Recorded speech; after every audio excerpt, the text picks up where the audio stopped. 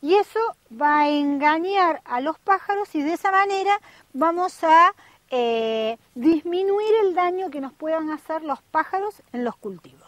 Otra trampa que nosotros podemos hacer para las hormigas, que hay mucho para hablar de hormigas, es poner alrededor de nuestros cultivos arroz. No paella de arroz, no, arroz partido, el arroz pisado, ese que es bien chiquito. Entonces, las hormigas se sienten atraídas por el arroz, se llevan el arroz al hormiguero y no comen nuestros follajes. En el hormiguero se producen ciertos procesos químicos y eliminamos el hormiguero. Les voy a contar un poquito qué es lo que vamos a hacer. Vamos a hacer dos cosas.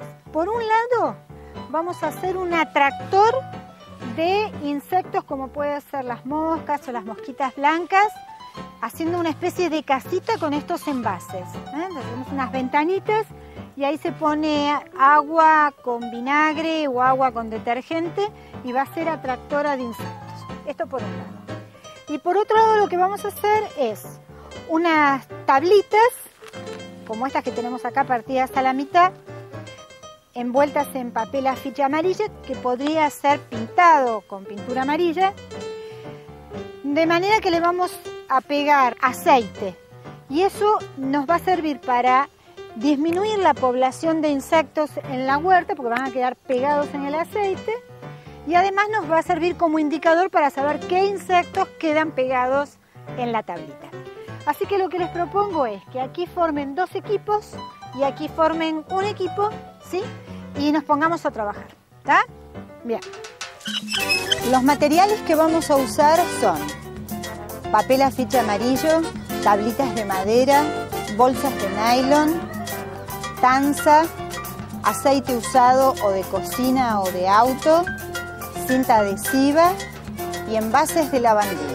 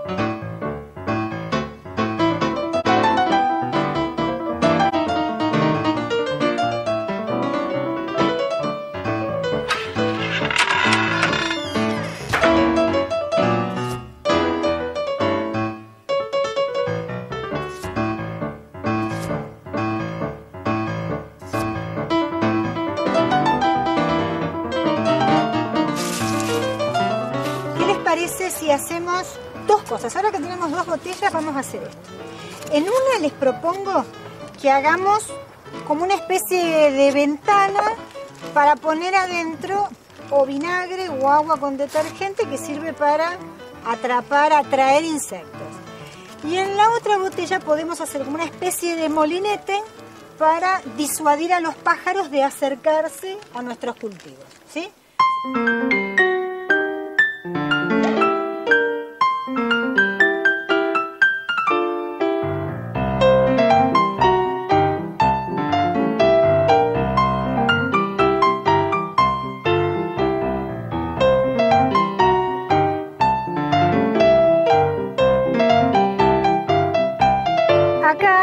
Puede poner o agua con detergente o vinagre o agua con vinagre.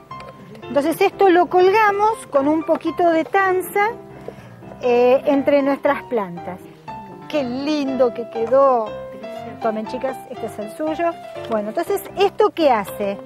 Esto lo tenemos que colgar, ¿sí? O de un tutor o de un mismo alambre de manera que cuando haya viento esto se mueva.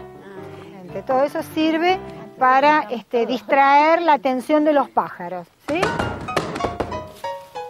Bueno, los quiero felicitar, quedó muy bien los dos envases. Me gustó porque además agregaron el reciclado de lo que había quedado para hacer letreros para nuestros cultivos, así que no desperdiciamos nada, muy bien. Acá los muchachos y Silvia hicieron muy bien sus tablitas con aceite, así que realmente ya estamos en situación para llevarlos a la huerta y ponerlos.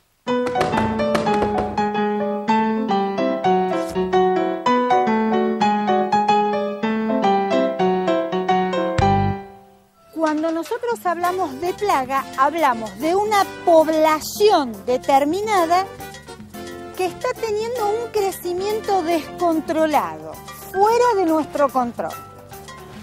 ¿Sí? Y una enfermedad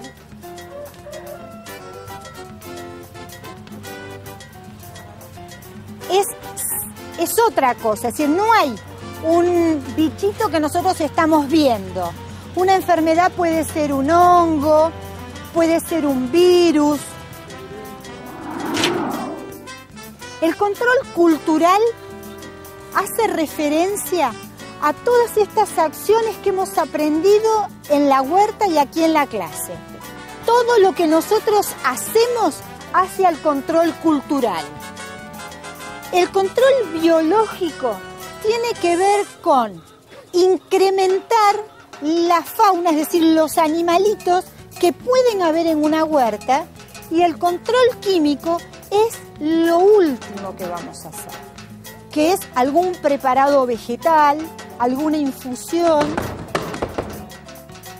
cuáles son los insectos y otros animales que pueden estar presentes en nuestra huerta. Bien, un perjudicial la presencia de los eh, pulgones.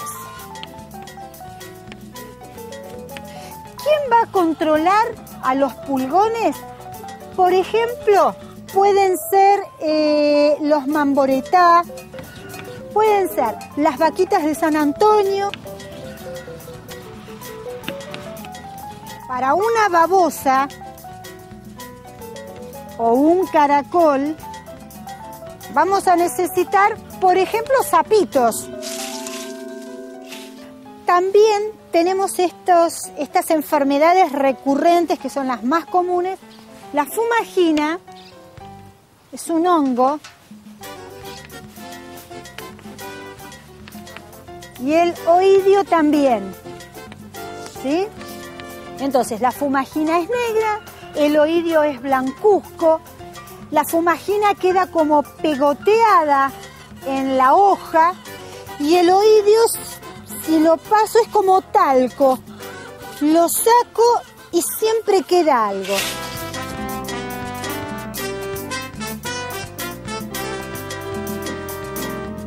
Una estrategia es eh, hacer lo que nosotros conocemos como ojo ovostrópico. El ojo ovostrópico es imitar el ojo de un ave de rapiña, porque los pajaritos que pueden estar en una huerta tienen miedo ser presa de un pájaro más grande. Y en general esos pájaros tienen sus ojos, eh, el, el ojo es concéntrico, amarillo y negro. Entonces si nosotros en una madera ponemos o papel afiche amarillo y le hacemos un círculo negro y otro amarillo, imita un ojo de un ave de rapín. ¿Qué les parece si hacemos dos cosas? Ahora que tenemos dos botellas vamos a hacer esto. En una les propongo que hagamos como una especie de ventana para poner adentro o vinagre o agua con detergente que sirve para atrapar, atraer insectos. Y en la otra botella podemos hacer como una especie de molinete para disuadir a los pájaros de acercarse a nuestros cultivos. Y por otro lado lo que vamos a hacer es unas tablitas, como estas que tenemos acá partidas a la mitad, envueltas en papel afiche amarilla, que podría ser pintado con pintura amarilla, de manera que le vamos a pegar aceite y eso nos va a servir para disminuir la población de insectos en la huerta porque van a quedar pegados en el aceite y además nos va a servir como indicador para saber qué insectos quedan pegados en la tablita. Eh, la próxima clase vamos a seguir hablando del tema de plagas. Así que muchas gracias y hasta la próxima.